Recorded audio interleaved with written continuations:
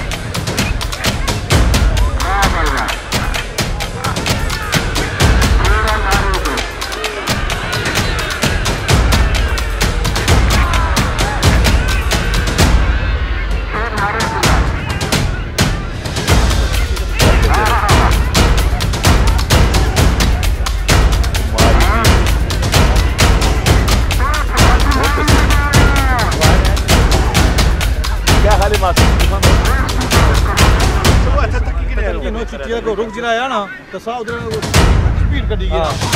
ਹਾਂ। ਬਿਗ ਵੀ ਦਾ ਲਗਾ ਲੱਗ ਰਿਹਾ ਸੌਰੀ ਨੂੰ ਮੈਣਾ ਤੋਂ ਇਸ ਮੂੰਹ ਇਸ ਫੜਾਇਆ ਹੋਇਆ